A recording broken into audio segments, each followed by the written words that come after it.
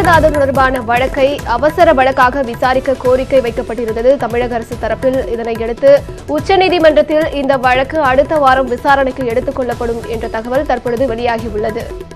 தமிழக சட்டப்பேரவையின் சிறப்பு கூட்டமும் நாளை கூட இருக்கிறது.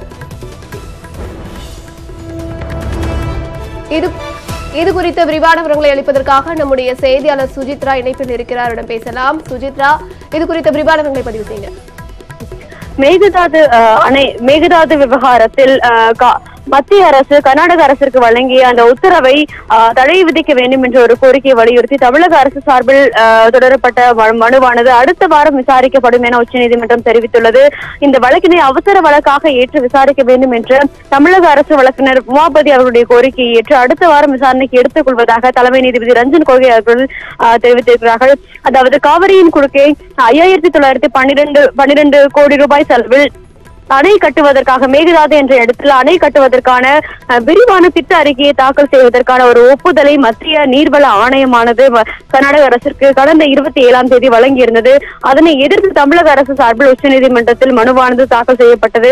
காவிரி நீர் மேலாண்மை ஆணையத்தின் ஆலோசனை எதையும் கேட்காமல் மத்திய நீர்வள ஆணையமானது கர்நாடக அரசிற்கு இந்த உத்தரவினை அதாவது ஒப்புதலை வழங்கி இருப்பதாகவும் அதனால் அந்த ஒப்புதலுக்கு தடை விதிக்க வேண்டும் எனவும் மேலும் காவிரியின் குறுக்கே எந்த ஒரு அணையும் கட்ட அனுமதிக்க கூடாது என ஒரு கோரிக்கை வலியுறுத்தி தான் இந்த மனுவானது தாக்கல் செய்யப்பட்டிருக்கிறது. இந்த மனு அடுத்த வாரம் திங்கள் அல்லது வெள்ளிக்கிழமையில் உச்சநீதிமன்றத்தில் விசாரணைக்கு வருவதற்கான வாய்ப்புகள் மிக மிக அதிகம். ஏற்கனவே கர்நாடக அரசின் சார்பாக அனைத்து கட்சி கூட்டமானது இந்த திட்ட அறிக்கையை தயாரிப்பது தொடர்பான ஒரு விரிவான கூட்டத்திற்கு நாளை கர்நாடகாவினுடைய முதல்வர் குமாரசாமி அவர்களும் அழைப்பு விடுத்திருக்கிறார் என்பது குறிப்பிடத்தக்கது. சுஜித்ரா தற்பொழுது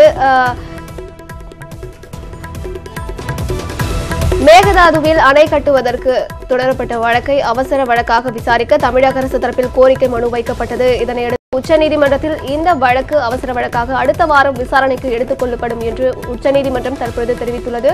இது குறித்த விரிவானவர்களுக்கு நன்றி சொல்கிறார்